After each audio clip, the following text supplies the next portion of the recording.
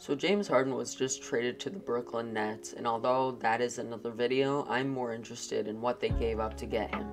The answer to that would be their entire future. Three first round picks, fully unprotected, one from Milwaukee to add on, four unprotected pick swaps, which is a big mess. Brooklyn has their entire, all of their picks for the next seven years are not in their control. Not only that, but this was a four team trade. Caris LeVert was thrown into Indiana, and Jarrett Allen ended up going to Cleveland. We already saw this with Kevin Garnett, Paul Pierce. The Nets traded away the picks that would become Marcus Smart, Jayson Tatum, Jaylen Brown, and more that were ironically moved for Kyrie Irving. Now, Garnett and Pierce left just two off seasons later in 2015, where the Nets began a three year playoff drought, only saved by the D'Angelo Russell led 2018 19 Nets.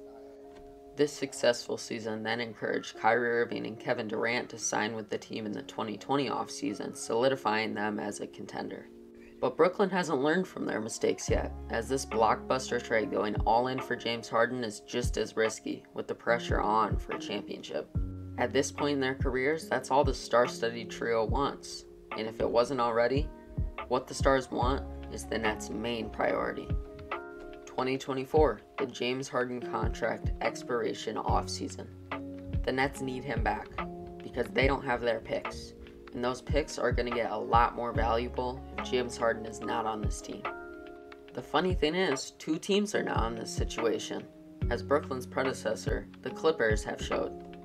The Clippers gave up just as much for All Star Paul George, Brighton star Shai Gilgeous-Alexander, now with the Hawks Danilo Gallinari, three of their own unprotected first round draft picks, as well as two of Miami's unprotected first round draft picks, two unprotected most favorable pick swaps.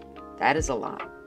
Kawhi Leonard, their own 2020 offseason pickup, has a player option this offseason with a contract expiring for sure in 2022 even though LA has now extended Paul George through 2025, as well as conveniently extended Luke Kennard and Marcus Morris to a total of around 30 million annually, a very tradable number, they are still relying on Kawhi's return.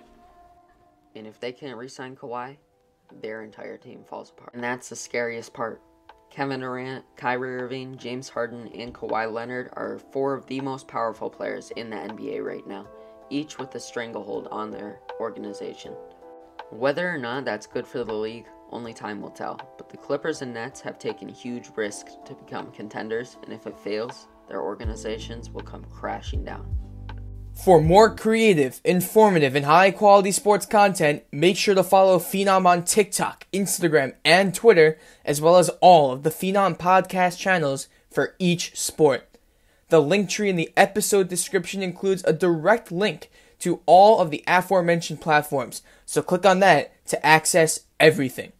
Phenom boasts a team of over 100 youth contributors from around the world, covering every sport on every media platform.